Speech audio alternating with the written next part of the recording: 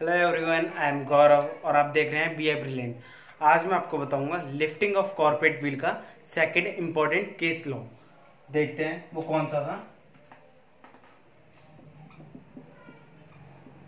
Lifting of corporate veil इसका second important case law नाम है किसका? Dinshaw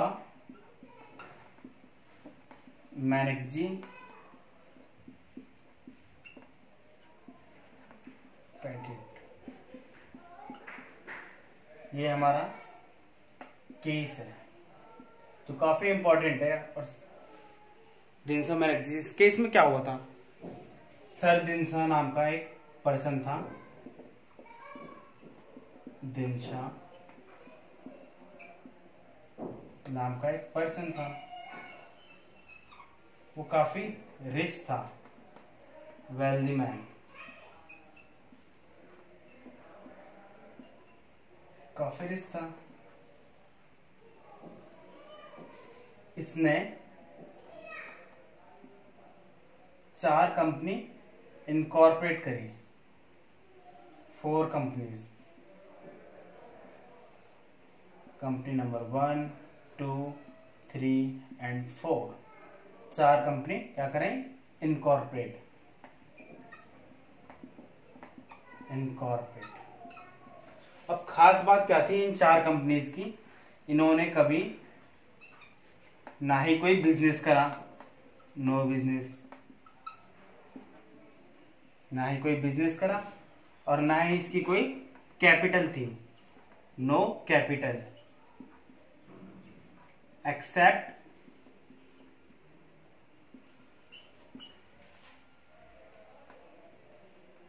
except the capital of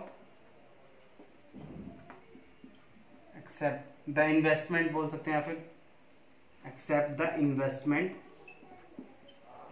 by mister manager Dinshaw D बोल सकता हूँ इसे। By mister D. ना ही इस कंपनी, चार कंपनी जो बनाई थी, ना ही इसका कोई बिज़नेस था और ना ही कोई इसकी कैपिटल थी। इन्वेस्टमेंट करी थी बस, जो मिस्टर डी ने करी थी। अभी चार कंपनीज़ जो हैं, ये इन्वेस्ट करती है। इन्वेस्टमेंट करती है। इन्वेस्टमेंट के रिटर्न में कंपनी को मिलते हैं डिविडेंड और रिटर्न रिटर्न को हम यहाँ बोल सकते हैं तरह से इंटरेस्ट रिटर्न कंपनी को डिविडेंड और इंटरेस्ट मिलते हैं. अब क्या करता है?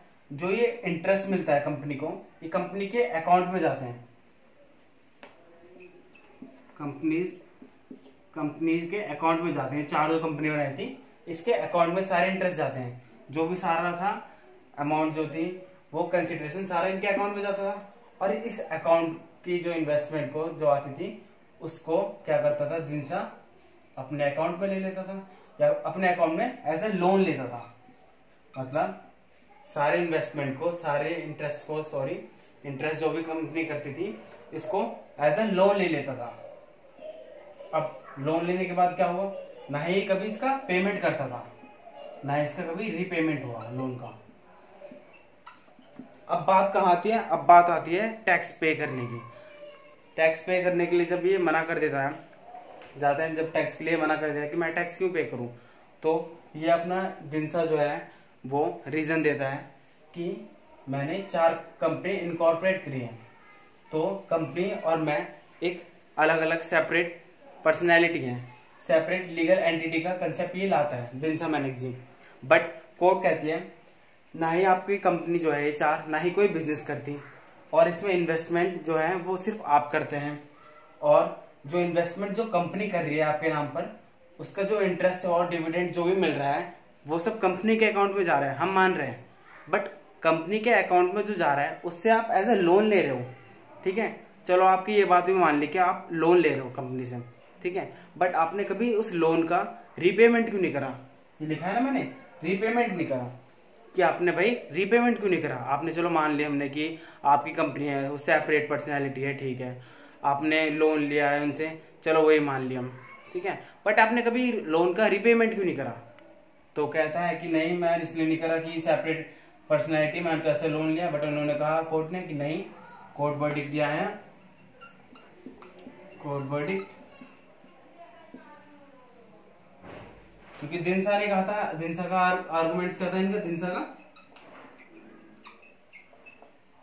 कि सेपरेट लीगल एंटिटी एंटिटी का कंसेप्ट अप्लाई करने के लिए कहा दिनसा ने बट कोर्ट ने कहा कि सेपरेट लीगल एंटिटी का कंसेप्ट यहाँ नहीं आएगा, क्योंकि आपने एक ऐसी कंपनी बनाई है, जिसका ना ही कोई बिज़नेस है, और जो भी इसकी इन्वेस्टमेंट हो रही है, जो इंटरेस्ट मिल रहा है, वो आप एज अ लोन ले रहे हो, अपनी ही कंपनी से आप लोन ले रहे हो। तो इसका सिंपल सा मतलब है कि आप टैक्स की चोरी कर रहे हो, कहीं ना कहीं टैक्स से आप बचना चाहते हो। तो ये आपने जो बनाया है, ये आपने टैक्स की चोरी करने के लिए ही अपनी चार कंपनी इनकॉर्पोरेट करी है। तो यहाँ सेपरेट लीगल एंटिटी को नहीं माना कोर्ट ने। कोर्ट ने lifting of corporate veil apply किया। यहाँ पर lifting of corporate veil apply किया। अब हमने देखा, क्या था? सर, दिन से दिनसा मैनेजी जो था, वो एक वेल्थी मैन था, बहुत पैसे वाला आदमी था। उसको, उसने क्या काम करा? उसने चार कंपनी बनाई। चार कंपनी इनकॉर्पोरेट कराई। One two three four incorporate कराई चार कंपनी अब उस चार कंपनी का ना ही कोई बिज़नेस था और ना ही कोई कैपिटल थी। बस वो कैपिटल वो थी जो दिनसा मैनेजी इन्वेस्ट कर रहा था। ठीक है? कंपनी ने इन्वेस्ट करा इन्वेस्टमेंट के रूप में कंपनी को रिटर्न में मिला डिविडेंड मिला और इंटरेस्ट मिला। अब इंटरेस्ट जो जा रहा था वो सीधा कंपनी के अकाउंट में जा रहा था। अब कंपनी के अकाउंट से कंपनी से दिनसा मैनेजी ने क्या करा? वो लोन के रूप में लिया।